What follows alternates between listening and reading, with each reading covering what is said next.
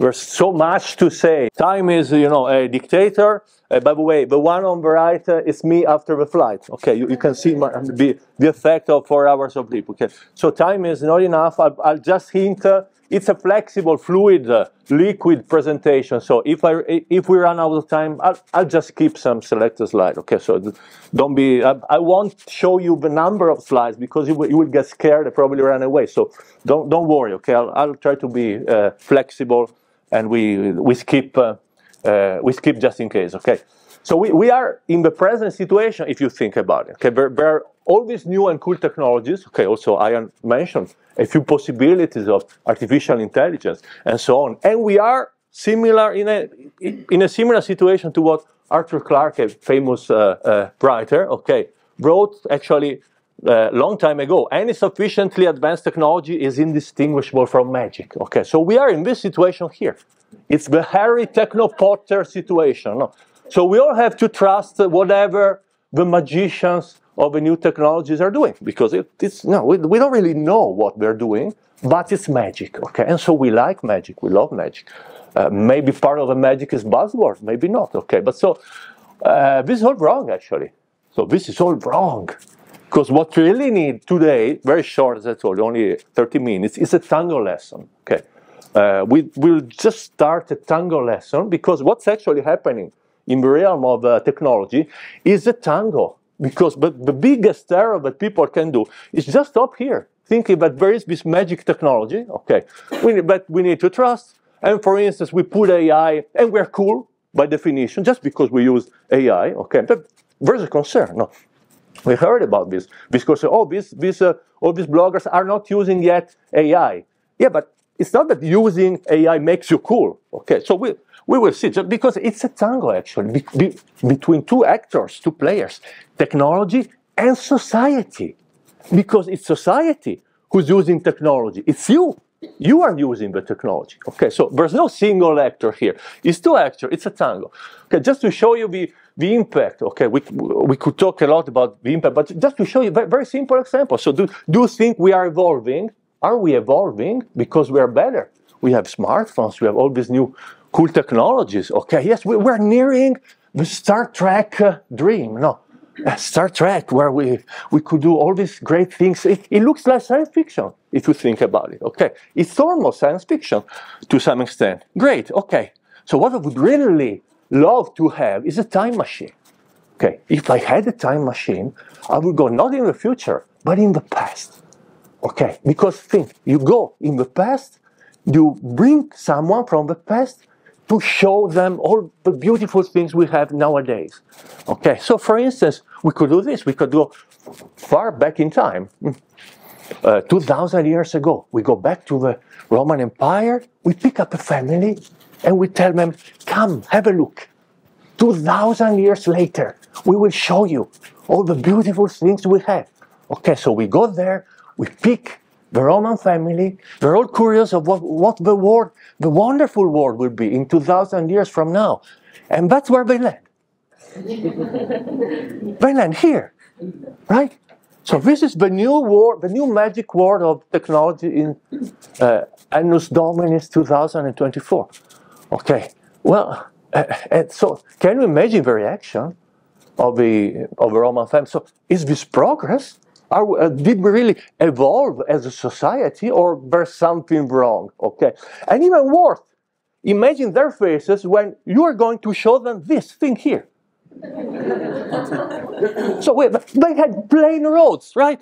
And we, we make plain roads, but we put the bumps. we put bumps on the road. Look, how, how do you explain it to the Roman family? Okay, but so obviously there is some sense. No, yes, we know why we need we need to, to do this crazy thing, but it's crazy if you think about it. We're putting bumps on straight roads. Okay, it's crazy, but we know that there is something. There is okay. Maybe uh, there are better solutions. There are, by the way, than bumps. But there is a sense. The sense is the tangle between technology and society, because this thing here, technologically, doesn't make any sense to do a straight road and then you put the bumps just it's not bumps that go down, but bumps that go up. Okay, but it's, it's, it's totally crazy. So it's not a technological thing here. This is the impact, the, the melting, the tango between technology and society, okay? And here you can see. So it's not really an evolution because our path is kind of strange unless you know where to look after, okay? So brief tango lesson, okay? This is wrong, as I told you. So we, we, we need a kind of chamber of secrets mm, to get into and find what, what, what, whether there are some rules, some uh, guidelines, whatever, okay? So the best uh, tool that we have to open the chamber of secrets, okay, there's the, the basilisk, okay, the, the corresponding basilisk is this thing here. Okay, it's the most scaring thing I'm aware of, okay. I go to many presentations. I met prime ministers, European Commission, Michael even, okay. But the, the very single moment where I've been most scared in my lifetime it's been when I had the disgraceful idea to go to a secondary school. Okay, it, it, because you know it's great uh, to bring the high technology views to okay, and these kids there started to do something that we forgot to do mostly, asking why. We forget to ask why because after we grow up and the kid in us kind of sleeping is sleeping now. because the world is like this okay we, we forget but i didn't forget and i was completely scared after two, three whys in sequence, I was starting, you know, sweating like, oh, wow, okay. So still, I remember it a few years ago. This is the, most caring, okay, thing that ever happened in my life. But it's a powerful concept, the why. Okay, but why, why this is happening. So Google, okay, let's, let's start a very quick road. So uh, we can see why some technology maybe succeeded and why some technologies failed, okay? And from this maybe we can understand how the future technologies are impacting our society, whether some technologies are better or worse, okay, for us. So Google starts, okay, it's the 90s, late 2000, and rapidly becomes the king of the web and of the internet, okay, the king. And then this guy arrives here. So now we all know Facebook, okay, but at the time, because always focus on what happened at the time to understand what can happen today, okay. At the time, people were just laughing at Facebook people were laughing at Facebook. Because what's, what's about this? You put your picture, you can read what other people write. So what, what, what is this compared to the magic of Google? The oracle that can give you answer. Okay, so all of the experts and the media, press, and so on, all the time laugh at Facebook. Okay, and then we know what happened in the clash. Okay, it, it looks like a skewed, unbalanced situation because the monster Google is facing this crazy little thing called Facebook, and then eventually something happens. Okay, 2010, okay, Facebook mm, grows bigger than Google in terms of user. So from 2010 onwards, the social uh, social era starts.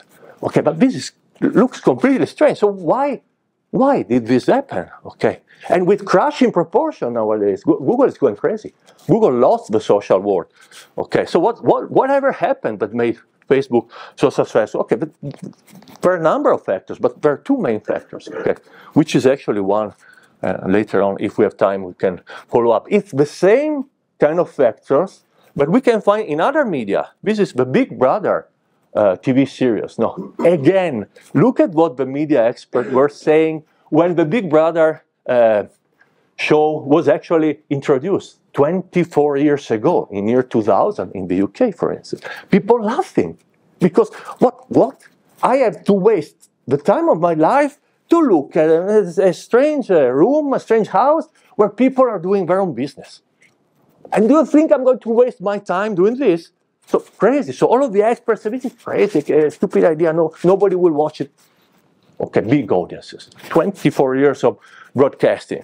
Okay, so the same happens to Facebook, the same principle, because these are the pulsion, the heartbeats of what people love to do on Facebook. Okay, and there's various actions that you can do on Facebook. You can read uh, what, what your friends or other people are saying. You can write things. Okay, there are many pulsions many things that you can do. But one thing here, the green one, as you can see, is the number one thing, which means people really love this in Facebook, not so much the other. And this big green line here, you know what it is? To look into the peephole. Peephole. Look at the images. It's not reading what other people are writing. It's not writing what you think. It's just watching images. Okay, so that, that was the primary pulsion. Okay, but, but, but people actually experienced in this new uh, world, okay, called Facebook. Okay, and, and that's been one of the recipes of uh, success. And then also other recipes, because as you know, the great things of Facebook and, and also of the other social media is that you can go viral, no? The great thing, you, you put a post, it goes viral, and boom, you, you hit jackpot, okay? And so something happened, okay, that made this social so powerful. I have a short clip that I'm going to show you, okay? Uh, sorry for the quality of the audio, but it's the original clip from 2004, okay?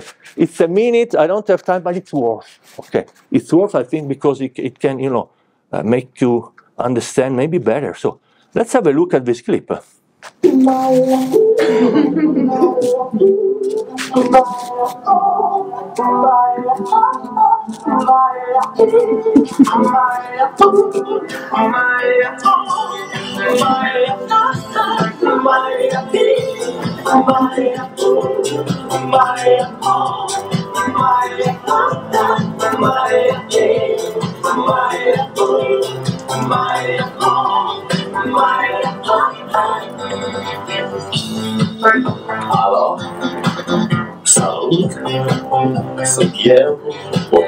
Because it could go on and on and on, as you can understand. It's finished. Continuă. te sun să-ți spun ce simt acum. Halo. Okay, and so no, no. And he stopped it. Okay, he, he stopped it. So this is the, you might wonder what it is. It's the first big viral video in the history of humanity. Okay, the, the number one, the seed. Everything started from here. YouTube wasn't even there. So it's a world where there's not yet YouTube. Still, this video goes viral. Over 7,000 visualizations. Okay, growing growing. It was the first video ever that went. I just, Yes, the big viral video, first video ever. Okay, and then people not only started, you know, uh, sharing it, but they also started replicating it. Okay, it's a compilation from all over the world: Mexico, Germany, Spain, Argentina, uh, Sweden, Finland, uh, Italy, uh, everywhere in the world, everywhere. The big planetary hit of the time. Okay.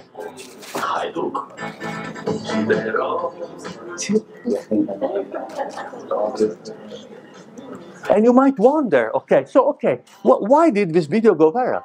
Is, is it an informative video? Did you learn something more? Do, do you feel empowered? Because now I know more than I knew yesterday after. But no, obviously there's something else. No. So can, can you understand? This is not Google. This is not Google. Google is the librarian who is showing you the books, who is telling you, you need to learn more. Yeah, sure. Okay. This is us. This is us. Okay, this is us. Because what we need most, and the biggest thing that makes things viral, is the emotions. It's not the content at all. As scaring as it looks now, because are we really this? Yes, we are. Yes, we are.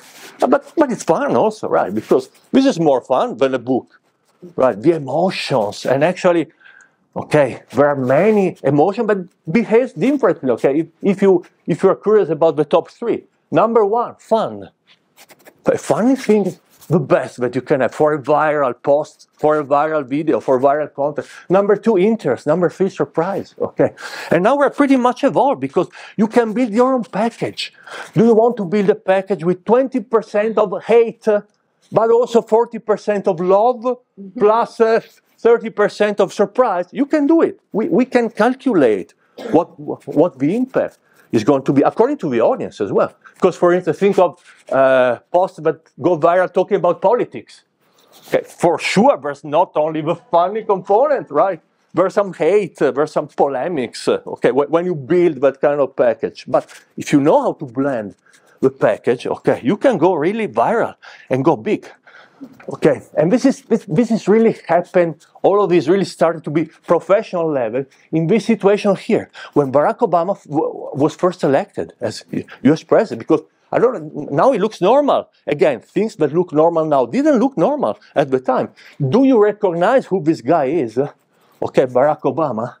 Well, Barack Obama. I, I don't know if you ever noted, but Barack Obama is black. it's black. this is the US, it's black.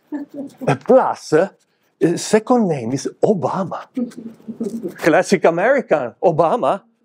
Osama bin Laden, uh, at the same time, Obama. So it's black, with, you know, strange ancestors, whatever. And so, you know, nobody has doubts when Mitt Romney arrives. Can, can you see Mitt Romney? It's beautiful.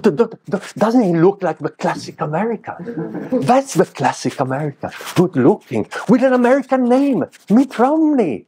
Yes, 2012. Nobody has doubts. Nobody has doubts because these are the proportions of the polls. Okay, this one actually, this is a, a false start. Okay, the green one is Mitt Romney. The blue one is Obama.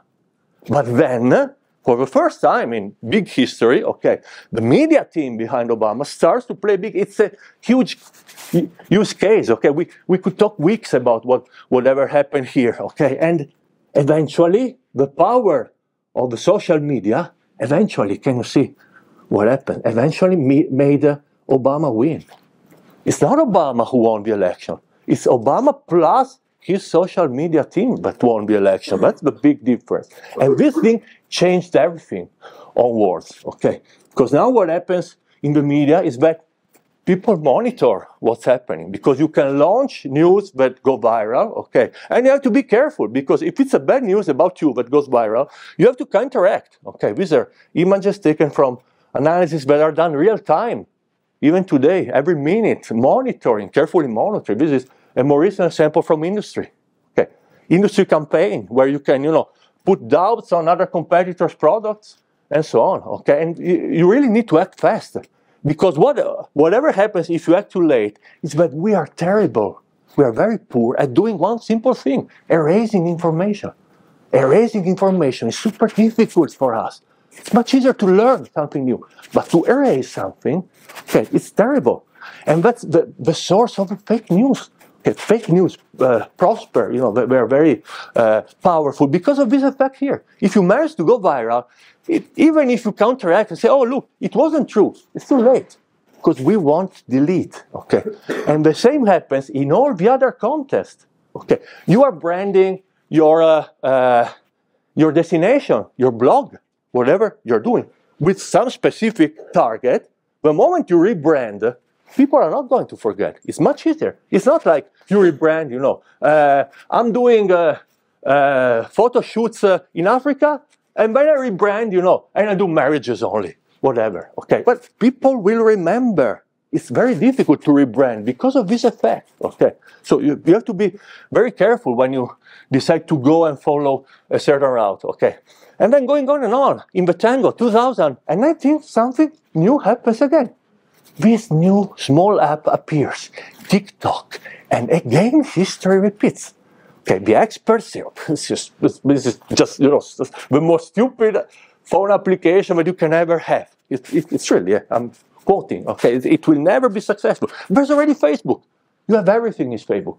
You have text, you can have images, okay, and, and this new thing here appears, short videos, you know, where you don't really have control, okay, now it's been powered up. Okay, you can put roses, whatever you want, but the essence has stayed. Okay, TikTok arrives. Okay, and again it wins.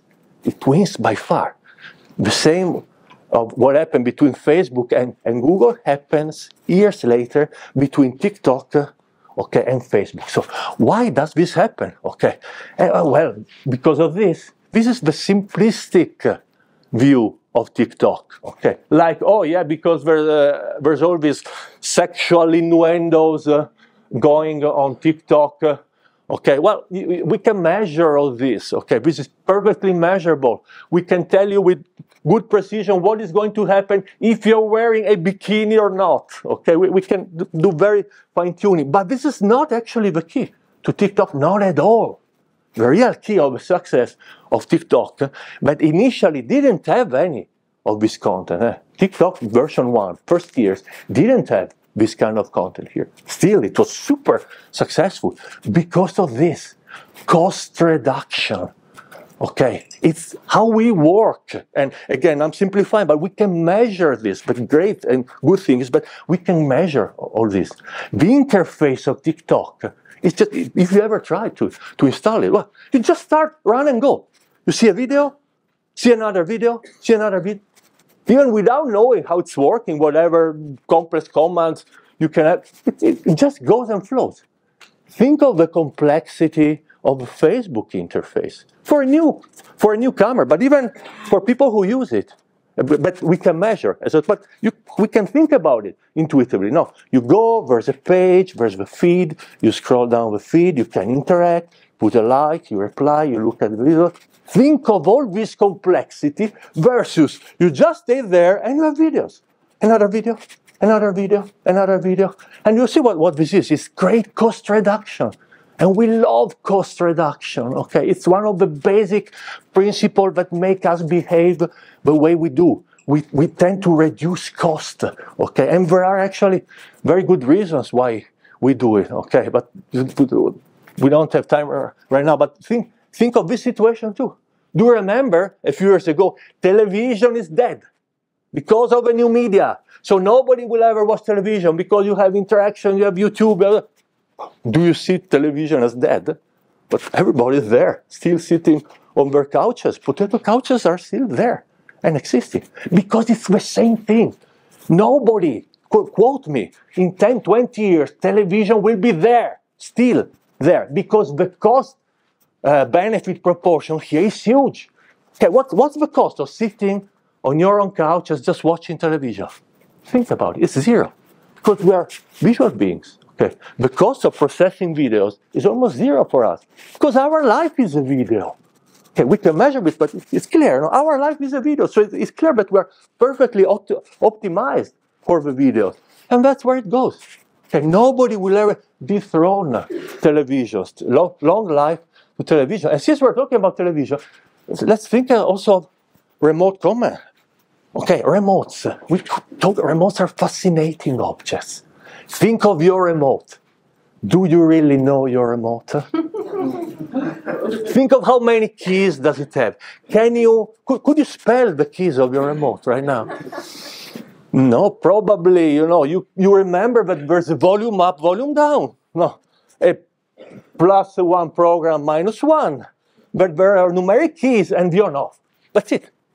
No, probably. And maybe you, you remember one, one or two more keys. But so, okay, so it's, a complex object, but we don't use it. We don't use this complexity because we tend to minimize cost.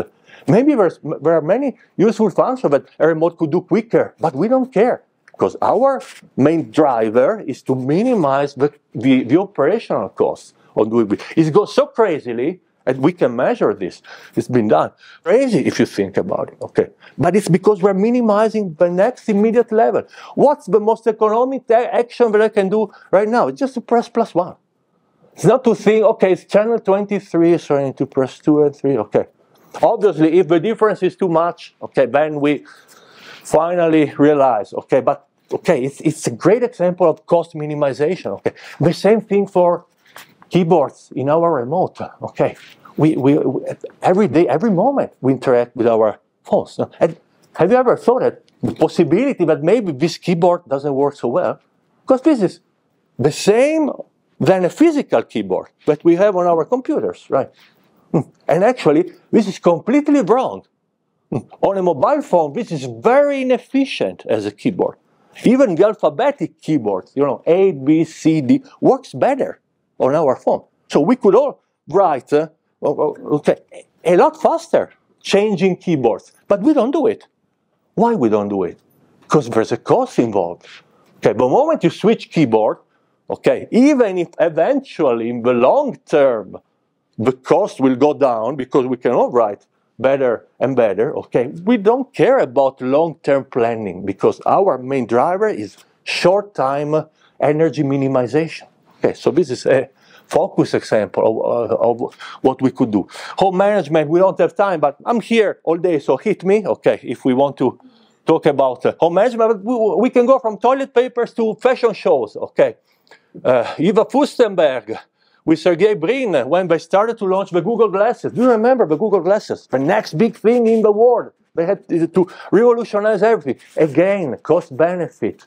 Mm. The thing you could do, cool things that you can and could do with a Google, with a pair of Google Glasses are overpowered by, by, by the cost of use of this technology. There was no doubt by the real experts, not the hype expert, but which was a failure. Okay, and can you see that history repeats? Meta and the metaverse. The metaverse is going to be the greatest new thing.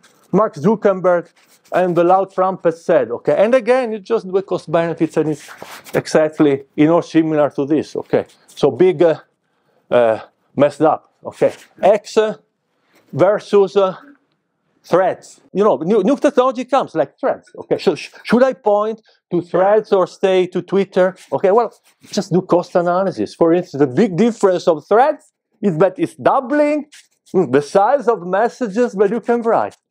So people will be able to express themselves better and double the cost of the people who read this. Mm-hmm. Okay, it's as simple as that. So it's a total no, no. Okay, so and no wonder the thread, you know, started with the hype, like the Google glasses, and now it's, you know, uh, going down. And the same you can compare Twitter versus the other, but all, all these microblogging things, it's gone down. It's losing users because it's costly. People need to read read and maybe write also can you imagine?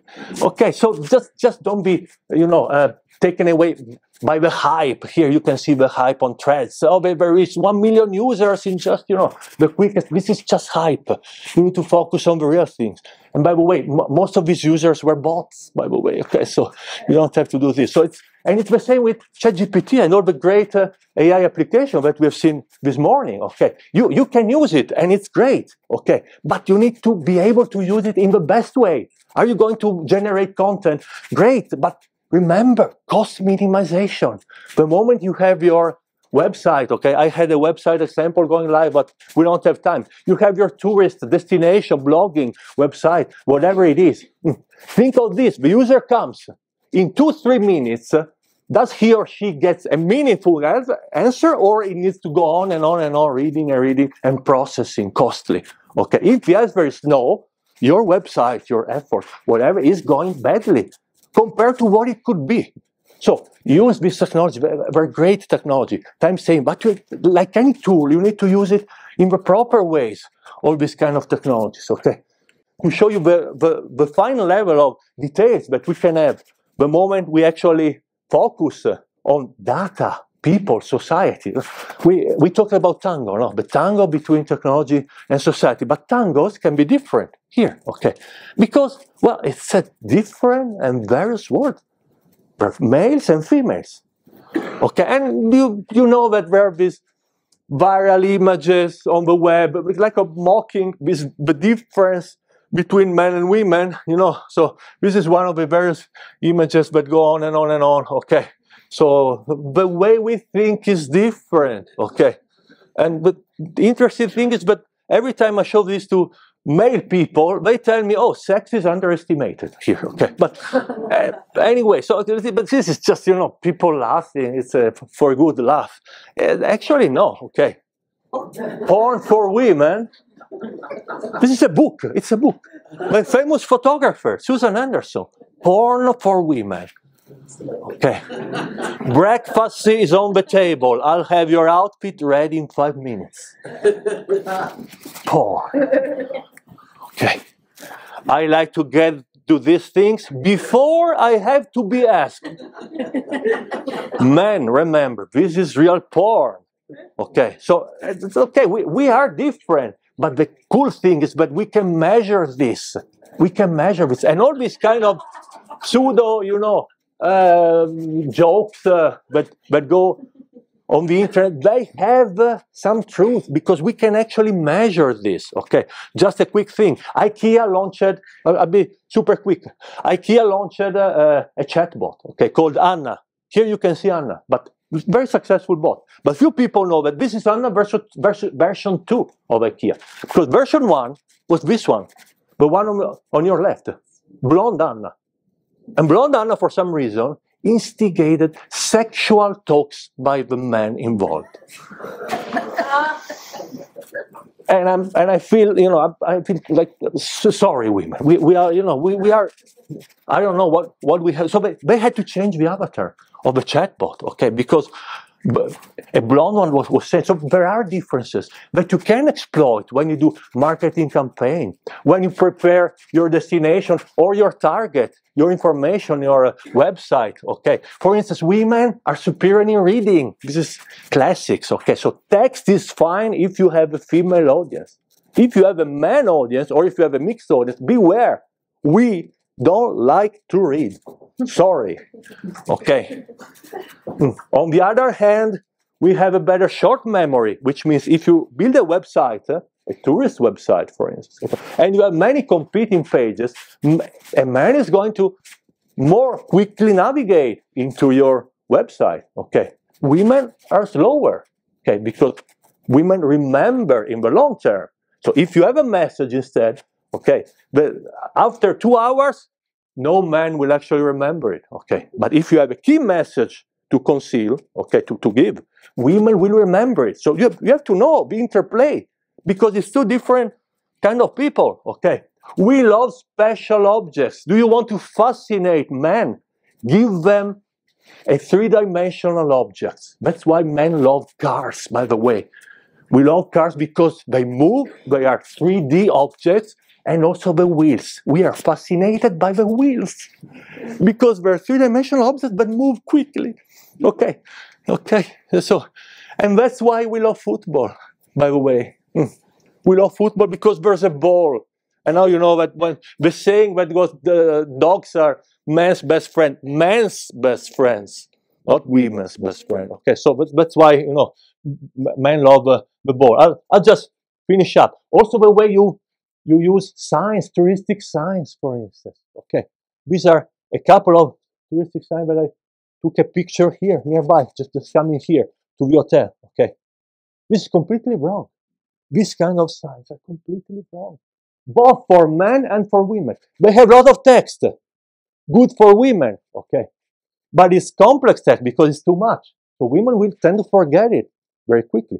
Men, it's too much text, but they will maybe try to understand better. But what, what is actually happening is that we behave different. This is the best way. This is the best way to do things. To put icons, or even better, to put uh, three-dimensional objects like this. And people, both men and women, will actually enjoy navigating this kind of site because we are all different and we need to know how to better exploit this in tourism and for all the other technologies of our lives. So we don't really have time, as I told you, but I hope you maybe get got a grasp of how to tango and they need to, to understand that it's two actors, technology and society, and not just techno-potter technology alone. Thank you very much.